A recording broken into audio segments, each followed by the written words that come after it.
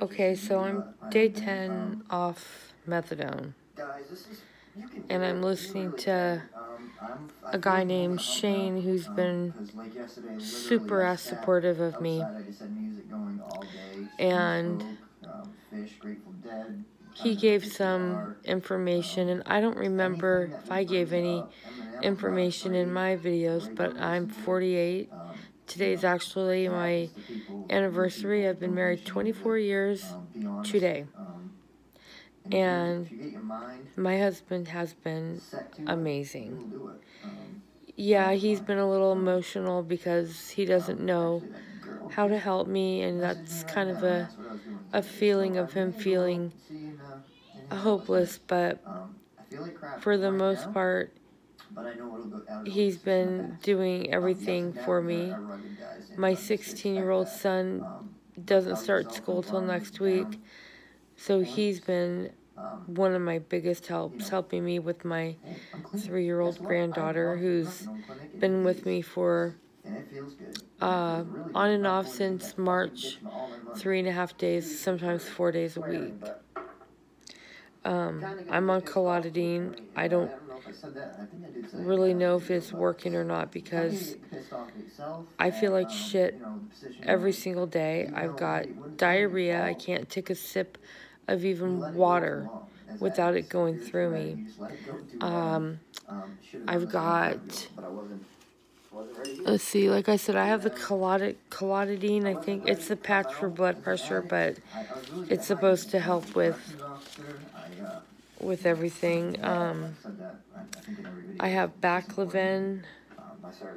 I have chlorodiazepoxide. for anxiety.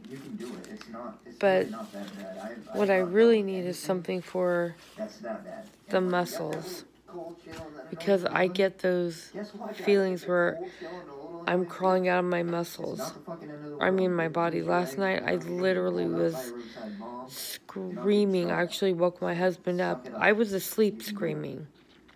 Um, Um, about it, it's already got my My chemicals going, doctor it's already got me prescribed a sedative that I only take at night to help me sleep because I am previously diagnosed with insomnia out of that because.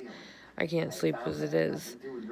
But to opiates for 16 years. I've been like just really drugged and I am thankful for that because it kind of does help, but I I was on a very high level of methadone. I. I was on so 120 No matter how bad I feel, milligrams I'm still happy, and that's a day, I believe. I'm had 420 Every other time, pills, and that was a 30 day supply. And I think I was taking but now it's up here. I'm saying, six every four hours, something like that. It was a lot. But I was also taking Won't do it oxycodone, morphine, and Percocet, actually all at the same time. I never withdrew, I mean, I never overdosed, nothing, but I've also had gastric bypass, so I don't absorb it all. That's my beautiful daughter. But, Well, you can see her. um, I got myself off of the Percocet, the morphine, Some of my and the oxycodone, and I decided to keep the methadone because of out of all the pain meds, that was the one that worked the best for me. Me. I have had get myself right before I several cervical fusions. Um, Um, You can see one of my scars there. I'm have a really bad scar in the back of my neck because. I've had Um, I've had that. It's called posterior surgery. I've had that cut twice.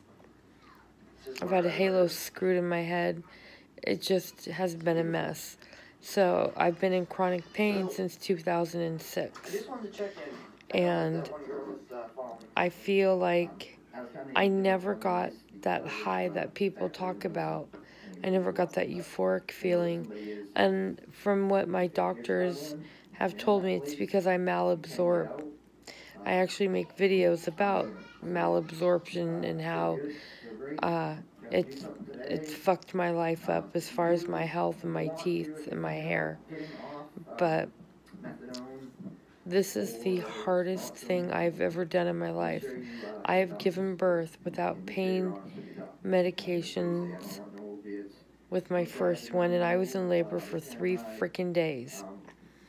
Every time they tried to give me something for pain, the baby's heart rate would drop, so no pain meds for me. So I also gave birth to my second son, which I was induced, and they tried to give me two epidurals, and neither one of them worked. So I know what natural birth feels like, and this is worse. This is the worst thing I have ever gone through. And I am on day 10, and I feel just as horrible as I did on day 4. I have diarrhea. I can't drink anything. It goes right through me. I'm so dehydrated. Um, but this is also the first time I've ever detoxed off any medication. But I'm not going to lie to any of you that are going through this. It fucking sucks. It fucking sucks a bag of dicks. A bag of dirty dicks. And I just want you to know that I'm on day 10 without methadone. I have my bottle. It's there. I can take them if I want to, but I don't. This is something I wanted to do for myself. I didn't want to do it for my husband. I didn't want to do it for my kids. I want to do it for me. And so far, so good.